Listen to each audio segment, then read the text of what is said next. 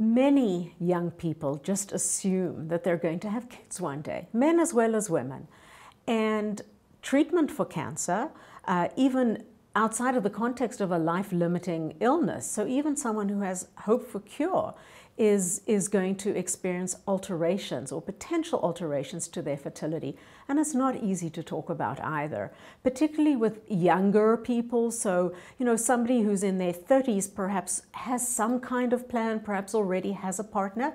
But 18 year olds, it's often really not even on the radar. They're spending a lot of their time trying to prevent that from happening.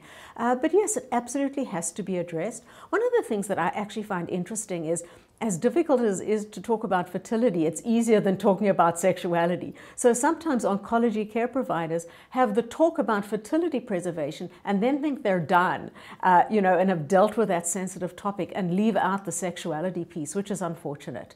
They're not the same, but they're connected, obviously.